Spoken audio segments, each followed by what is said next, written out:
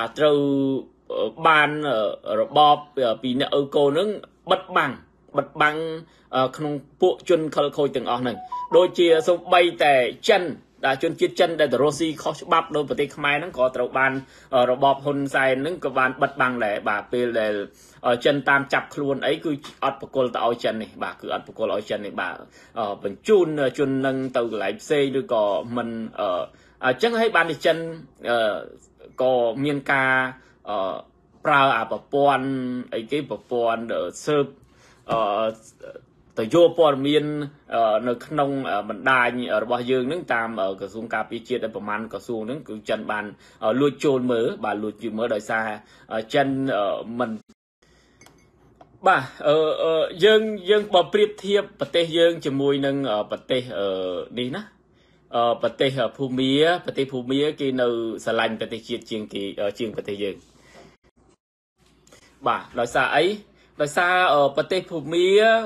ថ្មីថ្មីនេះគឺមានចាប់ជនឆបោកតាមប្រព័ន្ធអនឡាញជាង20000នាក់ជាង20000នាក់អញ្ចឹងមានន័យថាម៉េចមានន័យថាប្រទេសភូមាគេស្រឡាញ់ប្រទេសជាតិគេពិតប្រាកដគេគេគេត្រូវការអឺ គេមិនត្រូវការអ្នកដែលចូលមកបំផ្លាញប្រទេសគេបាទអញ្ចឹងគេចាប់គេចាប់អ្នកដែលរស់ស៊ីខុសច្បាប់ប៉ុន្តែស្រុកខ្មែរយើងគឺអត់ទេបងប្អូនណាគឺមិនដោយយើងឃើញថាចាប់ចាប់បានតែរបស់ទេមិនដែលឃើញមានចាប់បានអ្នកដែលនៅពីក្រោយខ្នងអ្នកដែលជួញដូរពិតប្រកបទេយើងឃើញដូចជារឿងគ្រឿងញៀនចឹងគឺគ្រឿងញៀនយើងឃើញថាភាគច្រើនគឺចាប់បានតែប្រជាពលរដ្ឋតូចតាច អ្នកដែលជក់កប៉ែកប៉ុកតែអ្នកជួញដូរក្នុងខេត្តទាំងមួយមួយមួយបើមិនមានមេខ្លោង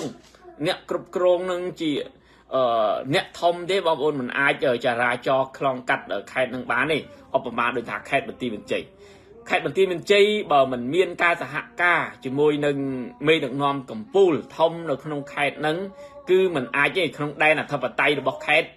គឺទៅតែចវាយខេត្តហ្នឹងគឺគ្រប់គ្រងហើយចវាយខេត្តហ្នឹងគឺដឹងទាំងអស់គ្រប់រឿងទាំងអស់គឺមិនអាចអ្នកណាធ្វើអីបានដោយចវាយខេត្តមិនដឹងទេបើសិនជាធ្វើអីចវាយខេត្តមិនដីមានន័យថាចវាយខេត្តហ្នឹងទីងងហ្នឹងมันអាចឡើងគ្រប់គ្រងខេត្តហ្នឹងបានទេគ្រាន់តែខេត្តខ្លួនឯងមួយគ្រប់គ្រងដូចនៅក្នុងភូមិបាច់ដល់យើងនិយាយវាវាវាអង្កន់ពីទូចទូចទូចទូចទៅទៅអញ្ចឹងណាវាអង្កន់ទូចទូចទៅអញ្ចឹងដូចនៅក្នុងភូមិយើងមួយ ក្នុងភូមិយើងមានមានបលិសមានបលិសភូមិបលិសឃុំបាទអញ្ចឹងក្នុង ភូមិទាំងអស់រឿងអីយើងចាប់បានបាទរឿងអីយើងមិនដឹងថាអ្នកណាជាអ្នកជក់គ្រឿងញៀនអ្នកណាជាអ្នកអឺកូនអ្នកណាខ្លះជាអ្នកលេងនៅក្នុងភូមិរឿងអីយើងមិនដឹងសូម្បីតែយើងប្រជាពលរដ្ឋតូចតាចធម្មតាក៏យើងដឹងដែរមិនបាច់ចាំដល់ប៉ូលីសអីហើយរត់ធ្វើដល់ប៉ូលីសហើយមិនដឹងថាក្នុងភូមិនឹងមានអ្នកណាសកម្មភាពធ្វើអីរឿងអីមិនដឹងអ្នកណាមានអ្នកណាក្រអ្នកណាអីយើងដឹងទាំងអស់ហ្នឹងប៉ុន្តែពួកហ្នឹងបិទភ្នែកបិទច្រមុះដោយសារអីដោយសារលុយ ដោយសារលុយគេយកទៅបិទមាត់ណាបើពួកឯងស្ងាត់ទៅណាគេយកទៅប៉ាវគេយកទៅលុយទៅអោយទៅទៅអូពួកឯងស្ងាត់ទៅឥឡូវខ្ញុំនេះកំពុងតែអឺអញ្ចឹងខ្ញុំបង់ឲ្យពួកឯងចុះណាខ្ញុំបង់មួយខែប្រហែលណា1000 2000ដុល្លារអី4 500ដុល្លារអីចឹងហើយខ្ញុំត្រូវការចែកចាយគ្រឿងញៀនអីរឿងអីប៉លីបាត់មាត់ចិត្តឆឹងបាត់បាត់ភ្នែកបាត់ហើយណាធ្វើមិនអាយធ្វើអីធ្វើណា ប៉ុន្តែពេលមានរឿងអីឲ្យកុំពាក់ព័ន្ធដល់អញណាហើយពួកហ្នឹងរស់ស៊ីវាវាដឹងណាដល់ពេលមានបញ្ហាគេចាប់អីវាមិនដែលចោតទៅអ្នកនេះទៅអ្នកនោះទេពួកហ្នឹងព្រោះវាមិនបិទផ្លូវវាដឹងថាពេលដែលគេចាប់វាបើវាមានលុយមិនយូរទេវានឹងចេញក្រៅគុកមកហើយបាទហើយបើវាអត់លុយក៏វាមិនយូរដែរបើសិនជាគ្រឿងញៀននឹងតិចតេចវាជាប់ពី3ឆ្នាំហ្នឹងវាចេញមកវិញហើយអញ្ចឹងវាអត់បិទផ្លូវវាទេពេលវាចេញមកវិញវារស់ស៊ីទៀតបាទវារស់ស៊ីបានទៀត អញ្ចឹងលើកក្រោយវាកាន់តែប្រយ័ត្នប្រយែងបាទរស់ស៊ីកាន់តែធំតិចអញ្ចឹងអ្នកដែលអ្នកដែលរស់ស៊ីខូចនៅស្រុកខ្មែរយើងពីតូចឡើងដល់ធំអត់មានចូលទៅក្នុងពន្ធនាគារចេញមកវិញកែប្រែណាអត់មានទេណាចឹងហើយបានតែយើងខ្វល់បងប្អូនថាហេតុអីបានជាក្នុងប្រទេសកម្ពុជាយើងពីមួយថ្ងៃទៅមួយថ្ងៃសម្បូរអ្នកបោកប្រាស់តាមប្រព័ន្ធអនឡាញអ្នកបោកប្រាស់ពួកអតកែហេតុអីបានជាហើយអ្នកបោកនឹងមិនមែនទូចទេសិតតែពួកអ្នកធំមិនមែនទូចទេសិតតែអុកញ៉ា ហើយយើងសួរថាពេលដែលក្រុមហ៊ុនទាំងអស់ហ្នឹងហើយថ្មីថ្មីនេះមានការបោកប្រាស់អ្នកវិនិយោគស្អីគេណាអីច្រើនណាខ្ញុំបាញ់ញ៉ៃសុខខ្មែរយើងនេះវាវាចលាចលវាមិនដឹងវាអត់មានអ្នកណាគ្រប់គ្រងច្បាស់ប្រទេសគេមុននឹងបើកក្រុមហ៊ុនអីមួយគេទៅមានប្រាក់ដង្កល់បាទហើយមិនដឹងបើប្រទេសខ្មែរហ្នឹងនឹងនឹងវាមានឬក៏មិនមានហើយឬក៏មានហើយពួករដ្ឋាភិបាលពួកអាអ្នកដឹកនាំហ្នឹងវាមិនវាមិនចាត់ការឲ្យយើង យ៉ាងម៉េចអាហ្នឹងខ្ញុំមិនច្បាស់ទេបាទប៉ុន្តែច្បាប់ប្រទេសណាដូចប្រទេសណាដែរពេលដែលយើងបើកក្រុមហ៊ុនអីមួយត្រូវតែមានប្រាក់ដង្កល់ត្រូវតែមានចុះបញ្ជីច្បាស់លាស់ត្រូវមានច្បាប់មានទម្លាប់ណានៅក្នុងរដ្ឋរបស់គេគេគ្រប់គ្រងអញ្ចឹងហើយពេលដែលក្រុមហ៊ុននឹងមានបញ្ហា គឺអាលុយដង្កល់នឹងហើយដែលគេដកយកមកសងអ្នកដែលរងគ្រោះតែស្រុកខ្មែរយើងអត់មានទេ បាទអ្នកចាញ់បោកគេណាអាអ្នកបោកសិតតអុកញ៉ាពេលដែលមានបញ្ហាផ្ទុះការតវ៉ាខ្លាំងឃើញទៅចាប់អាអុកញ៉ានឹងទៅចូលគុកបានប្រហែលថ្ងៃបាទមូលហេតុអីបានជាគេចាប់តាមពិតគេមិនចង់ចាប់ទេបាទគេមិនចង់ចាប់ទេព្រោះអាអ្នកដែលរ៉ូស៊ីខូចខូចហ្នឹងវាមានពាក់ព័ន្ធជាមួយនឹងរបបលោកហ៊ុនសែនបើយើងនិយាយចំទៅពាក់ព័ន្ធនឹងកូនចៅរបស់ហ៊ុនសែនហ្មងបើមិនមានពាក់ព័ន្ធទេពួកនឹងរួចអត់រួចខ្លួនទេអញ្ចឹង អឺមូលហេតុអីបានគេចាប់បើអត់ចាប់ធ្វើឲ្យមហាជនវាអត់ស្ងប់យោបល់ទេវានៅតែតវ៉ានៅតែទៀមទាហ្នឹងហើយបើបើចាប់ហើយពួកគាត់ស្ងាត់ហើយបាទចាប់អូថាអូគេចាប់ហើយអុកងាហ្នឹងដោយសារបោកប្រាស់ប្រជាពលរដ្ឋអស់10លានដុល្លារអីចឹងទៅចាប់ដាក់គុកហើយហើយសួរថាចាប់ដាក់គុកពិតប្រកបទេអត់ទេបាទយ៉ាងច្រើនគេយកទៅដាក់នៅកន្លែងសន្តាគារ ឬក៏គុកសន្តាគារនៅក្នុងគុកហ្នឹងគុកសន្តាគារហ្នឹងសម្រាប់ឲ្យសង្ងំរយៈពេលមួយឆ្នាំអីចឹងទៅ2ឆ្នាំយ៉ាងមិនដល់2កន្លះតែមួយឆ្នាំគឺទៅចាញ់មកវិញហើយដោយមានការលើកលែងទោសអីចឹងទៅហើយវារឿងឆោបោកគេលុយទាំងលៀនហើយវាទៅជាជាប់គុកប្រហែលថ្ងៃចេញមកវិញយើងឃើញជាតួយ៉ាងចឹងដើម្បីអីហើយមិនមែនចេញមកវិញ រុស្ស៊ីអត់បានទេណាចេញមកវិញធ្វើធំលើដើមទៀតបាទចេញមកវិញលើធ្វើធំលើដើមទៀតអាហ្នឹងហើយហើយយើងចង់បានអត់របបហ្នឹងវាអត់មានសមត្ថភាពទាំងអត់មានសវត្ថភាពទាំងអស់ក្នុងការរស់នៅប្រទេសកម្ពុជាសិតតែជាហានិភ័យអញ្ចឹងហើយបានខ្ញុំបងប្អូនណា កុំឲ្យខ្លួនឯងស្លាប់ដោយសារលុយខ្លួនឯងអសោះបាទអញ្ចឹងមានលុយអឺបើថាឃើញគេមកនិយាយវិនិយោគអីអីច្បាស់លាស់បងប្អូនបាច់ទេខ្ញុំថាលុយមានលុយបន្តិចបន្តួចហ្នឹងទុកទៅណាទុកខ្លួនឯងទៅបាច់ទៅទៅសំកម្មទេអ្នកខ្លះលុយខ្លួនឯងសោះបាទត្រូវបានស្លាប់ខ្លួនត្រូវបានវេទនាត្រូវបានឈឺចាប់ដោយសារតែលុយខ្លួនឯងណាយកទៅឲ្យគេខ្ចីយកទៅឲ្យវិនិយោគចង់បានការប្រាក់ វាអត់សមត្ថភាពវាអត់មានថាអ្នកពេលដែលមានបញ្ហាអ្នកណាជួយយើងវាអត់ទេណាកុំឲ្យសង្ឃឹមកុំឲ្យសង្ឃឹមរបបចោលម៉ាស៊ីននេះឲ្យសោះបងប្អូនណាយ៉ាព្រមតាផ្ដាំថាកុំកុំសង្ឃឹមរបបចោលម៉ាស៊ីននេះចោះបើមានលុយណាមានកាក់អាចលាក់លៀមខ្លះក៏លាក់ទៅណាកុំបង្ហាញពេកក៏វាអត់ល្អដែរបាទពួកអស់ហ្នឹងជាសัตว์កពើពួកហ្នឹងតែវាឃើញយើងរស់ស៊ីរៀងមានបានតិច มันមានខ្សែมันមានបាក់มันមានពួកវាធ្វើស៊ីយើងហើយបាទវាធ្វើស៊ីហើយណាដូចជារឿងឥឡូវយើងយើងយើងយើងនិយាយឧទាហរណ៍ដូចរឿងផ្ទុះរឿងនេះគ្រឿនមូលហេតុអីបានជាគេចោតដាក់ទៅសម្ពាធទៅលើនាយគ្រឿនខ្លាំងម្ល៉េះហើយអ្នកផ្សេងមិនក៏អឺគេមិនមិនមិនយកចិត្តទុកដាក់តាមពិតអ្នកដែលផ្សាយលបែងអ្នកដែលលេងលបែងផ្ទាល់ហ្នឹងមិនមែនអឺច្រើនណា ណាអ្នកខ្លះលេងអាអាបាល់ណា live តាម Facebook ហើយពួកហ្នឹងចាក់លុយមិនតិចតិចណារាប់ម៉ឺនដុល្លារបងប្អូនរាប់ពាន់ដុល្លារណាអាលេងបាល់តារាងបាល់ផ្ទះតារាងជលមន់តារាងលបែងអនឡាញអីពួកហ្នឹងមិនមែនធម្មតាទេមិនមែនលេងថ្នល់តិចតិចទេហេតុអីបានជាគេឈរជើងបានបាទគេឈរជើងបានអញ្ចឹងនៅក្នុងអឺយើងមើលវាមានខ្សែបណ្ដាញវាឧទាហរណ៍ថា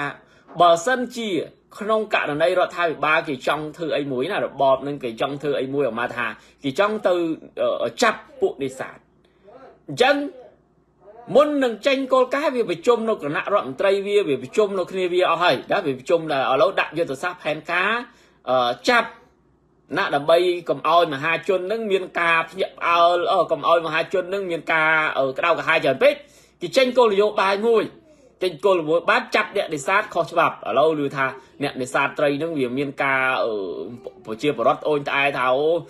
ចូលនេសាទមិនបានទេវាមានក្រុមអាកាងក្រុមអាអ្នកនឹងអូសតិចទីអស់អញ្ចឹងគេធ្វើម៉េចដើម្បីឲ្យវាស្ងប់ស្ងាត់មតិមហាជនគេប្រជុំគ្នាគេប្រមាណក្បាលហ្នឹងគេថាឥឡូវយើងត្រូវតែរកវិធីសាស្ត្រដើម្បីធ្វើឲ្យរឿងហ្នឹងវាស្ងប់អញ្ចឹងគេចេញ គាត់តែចេញពឹបគេទេទៅប្រាប់ពួកអាមន្ត្រីអស់ហ្នឹងចុះពួកអាអ្នកដែលរស់ស៊ីខុសច្បាប់ពួកអាអ្នកកាងហ្នឹងវានៅក្នុងអាអាកំពូលកំពូលវានឹងឯងតែអញ្ចឹងគេថាអេណាគេវិវ័យអីកុំទៅបាក់វាទៅទេទៅប្រាប់គ្នាវានៅកាន់អ្នកដែលកាន់ក្រសួងហ្នឹងថាឥឡូវនេះគេធ្វើគោលនយោបាយចាប់អ្នកនេសាទហើយអញ្ចឹងពួកអាហ្នឹងវាស្ងាត់មករយៈទៅអញ្ចឹងហើយប្រជាពលរដ្ឋយើងអ្នកដែលអូនចងអូអ៊ូនគាត់មានដឹងព័ត៌មានអីណា ថាអត់ស្រាប់តែឱកាសអញទៅពេលនេះឃើញដូចជាមិនសូវមានពួកអាកាងកន្លែងរ៉ូស៊ីហ្នឹងដូចរឿងស្រឡះហើយគាត់ថាអូឱកាសអញ្ចឹងអញយួនចងយកអីទៅទៅចាប់ដើមត្រេតត្រត់គេបន្តិចបន្តួចណារលំតាន់បាន100000ខ្មែរស្បួលគេចាប់វឹបហើយយកមកថតផុសទៅអូនេះបង្ក្រាបបានបត់ល្មើនេសាទហើយណាអញ្ចឹងណាហើយអ្នករងគ្រោះណាប្រជាពលរដ្ឋអត់ដឹងខ្យល់អីទាំងអស់ប្រទេសកម្ពុជាយើងនេះណា អ្នកដែលរងគ្រោះភាគច្រើនគឺអ្នកអត់មានអំណាចអ្នកដែលតូចតាចធម្មតានឹងរងគ្រោះទាំងអស់ហើយយើងស្គាល់បងប្អូនខ្លះឆ្ងល់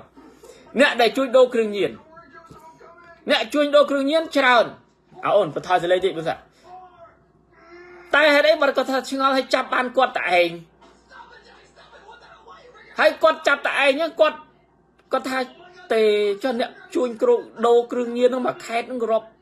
ក្បាលមកអស់ ហើយសិតតែអ្នកមានមានជាងគាត់ទៀតហេតុអីបានជាចាប់គាត់ដូចខ្ញុំនិយាយអញ្ចឹងគេគ្នាគេគេពួកអាអាអ្នកដែលអត់បានបងលុយប្រចាំច្រើនឬក៏បងលុយតិចឬក៏មិនមែនជាខ្សែខ្លួនឯងទៅបងដែរបងតិចតួចក៏ដោយគេនឹងចាប់ហ่ะគេនឹងចាប់ដើម្បីបន្ធូរបន្ថយបរិយាកាសកុំឲ្យវាក្តៅពេកកុំឲ្យវាអញញ៉ៃពេកអញ្ចឹងគេទៅគេទៅប្រើអយុធសាស្ត្រដូចខ្ញុំនិយាយអញ្ចឹងណា ដូចខ្ញុំនិយាយអញ្ចឹងបាទអញ្ចឹងឲ្យងើបពីដេកបាទទៅមកបាទអត់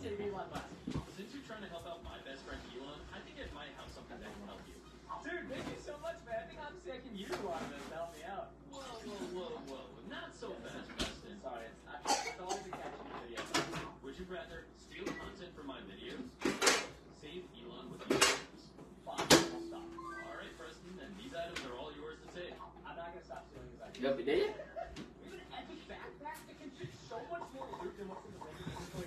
បាទសូមអភ័យទោសបងប្អូនបាទត្រង់ជក់មាត់បាទកូនអឺងើបពីគេងហើយហើយចិត្តដល់ម៉ោងទៅសាលាដែរហើយបាទអញ្ចឹងរឿងរ៉ាវទាំងអស់ហ្នឹងវាបង្កឡើង តែមួយគ្រួសារទេ ដែលធ្វើឲ្យប្រទេសយើងអញញ៉ៃញ៉ៃមកដល់សប្តាហ៍ហ្នឹងអញ្ចឹងហើយបានថាការ បើសិនជាយើងទុកមកគ្រួសារហ្នឹងឲ្យធ្វើឲ្យចង្រៃមកប្រទេសហើយយើងទុកធ្វើអីបាទយើងទុកធ្វើអីយើងខំការពារទៅអីដូចលោកមួយគាត់ខមមិនមកខ្ញុំបាទខ្ញុំអើយខ្ជិលបង្ហាញរូបគាត់បាទគាត់ជាសន្តិសុខបាទខ្ញុំឃើញគាត់តាំង profile មួយគាត់ដាក់អើយ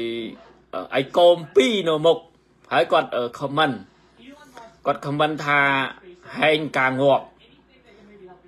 យើងអត់ដឹងថាគាត់និយាយ comment ហ្នឹងគាត់បានមើលអត្តន័យនៃការយើង live ឬអត់ទេបាទមិនដឹងជាគាត់ copy អា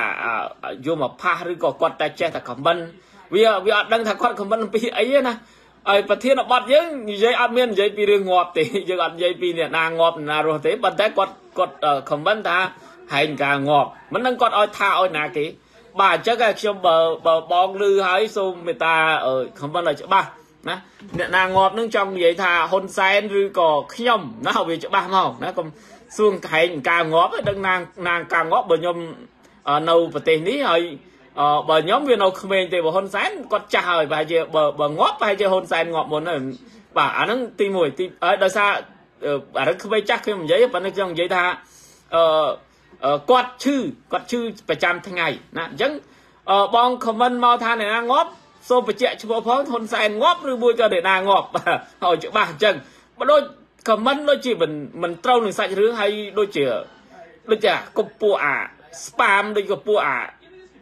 Facebook ខ្មោចអីចឹងណាហើយខ្ញុំចូលទៅមើល profile គាត់ជាសន្តិសុខខ្ញុំថាចំ comment អញ្ចឹងសួរថាមានលុយទៅពេទ្យអត់រងថ្ងៃហ្នឹងហើយទៅពេទ្យហ្នឹងអស់លុយអត់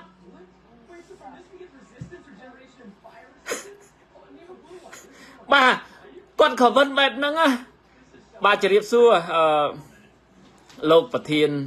រ៉ូបឺតបាទជម្រាបសួរបងបាទគាត់ខាងវិរៈភាពបាទវិរៈភាពហើយខ្ញុំក៏ចូលវិរៈភាពថ្ងៃនេះដែរហើយបងប្អូនទាំងអស់គ្នាចាំ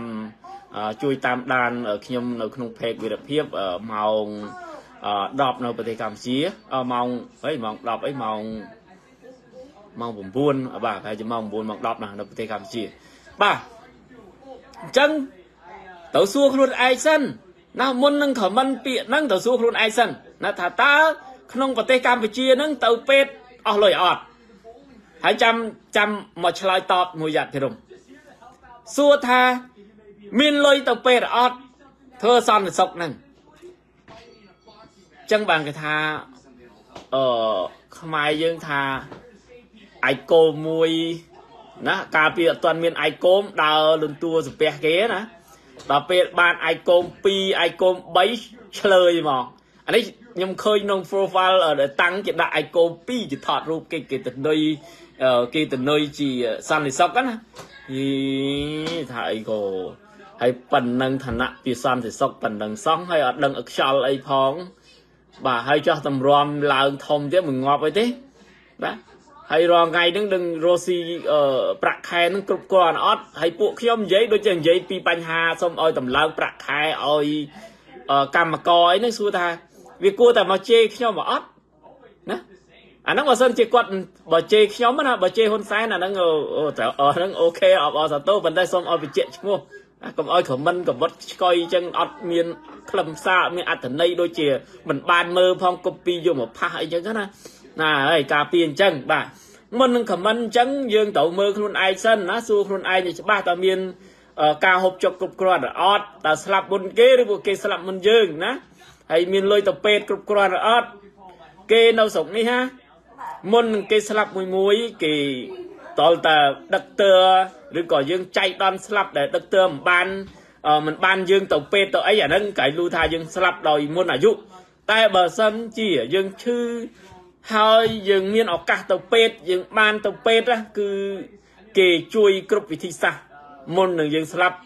តលតែរោគយើងនឹងមិនអាចជាបាបបានតលតែរោគយើងនឹងវាអស់ដំណាក់ចុងក្រោយ តែបើថាទៅតាន់ពេទ្យហើយជីវិតរស់យើងមកវិញគឺមានសង្ឃឹមរហូតដល់90% 90%អៃដាមសចិត្តដេតគាត់បើយើងនិយាយថាបើនៅក្នុងប្រទេសកម្ពុជាពេលនេះគាត់នៅក្នុងដី បើនៅប្រទេសកម្ពុជាពេលនេះគាត់នៅក្នុងដីដូរថ្លើមទាំងមូលបងប្អូនដូរថ្លើមទាំងមូលថ្លើមវាកាត់ដូរថ្លើមតែម្ដងណាអញ្ចឹងបើសិនជាគ្មានពេទ្យល្អពេទ្យទំនើបព្យាបាលសួរថាគាត់រស់ហើយអត់រស់ហើយឥឡូវយើងមើលហ៊ុនសែនហ៊ុនសែនអាងខ្លួនឯងមានលុយណាវឹងរត់មកប្រទេសក្រៅបើសិនខ្ញុំថាហ៊ុនសែនរាល់ថ្ងៃនេះហ่ะ បើសិនជាក្អត់មានមកពេទ្យខាងក្រៅប្រទេសទេហ៊ុនសែនស្លាប់បាត់ទៅហើយនៅក្នុងប្រទេសនោះវាគ្មានរស់ទេហើយបើសិនជាគាត់ជាកូនអ្នកក្រអត់មានលុយកាក់ហ៊ុនសែនស្លាប់តាំងពីពេលណា10 20ឆ្នាំមុនមកខ្ញុំនិយាយចំមកណាអញ្ចឹងណាមិនថាកុំនិយាយថាអូរឿងអស់អាយុ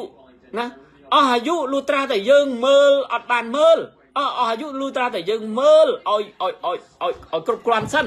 ណាយើងមើលពេទ្យឲ្យឆ្អែតឆ្អន់សិនអាហ្នឹងបានយើងស្លាប់ទៅថាយើងអស់អាយុតែយើងដើរដើរត្រូវគេបុកផាំងហើយសួរអស់អាយុមិនណាយើងដើរដើរតាមផ្លូវគេមកបុកយើងស្លាប់ទៅយើងយើងគិតយ៉ាងម៉េចឥឡូវបងប្អូនគិតយ៉ាងម៉េចអត់អាហ្នឹងអាហ្នឹងវាវាវាអស់ទោះហ្មងណាវាអស់ទោះហ្មងហើយយើងស្លាប់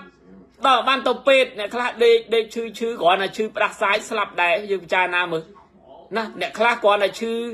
អឺគ្រុនចាញ់ស្លាប់ដែរយើងឃើញទេជំងឺអស់ហ្នឹងគេព្យាបាលជាយ៉ាងស្រួលណាបើសិនជាយើងទៅពេទ្យតែបើយើងដេកនៅទៀងផ្ទះហ្នឹងវាស្លាប់ហើយណាជំងឺនៅលើโลกនេះគ្មានជំងឺណាដែលមិនព្យាបាលមិនបានទេប៉ុន្តែកុំឲ្យតែវាដល់ដំណាក់ចុងក្រោយដូចតែជំងឺថ្លើមអញ្ចឹងជំងឺថ្លើមបើយើង គេស្រាវជ្រាវគេពិនិត្យយើងដឹងថាយើងចាប់ផ្ដើមកើតជំងឺហ្នឹងគេព្យាបាលទៅវាជា តែបើសិនជាយើងដូចស្រុកយើងអ្នកខ្លះគ្រាន់តែឈឺពឹបមិនដែលឈឺទេណា10 20ឆ្នាំយើងអត់ដែលឈឺស្រាប់តែទៅពេទ្យពឹប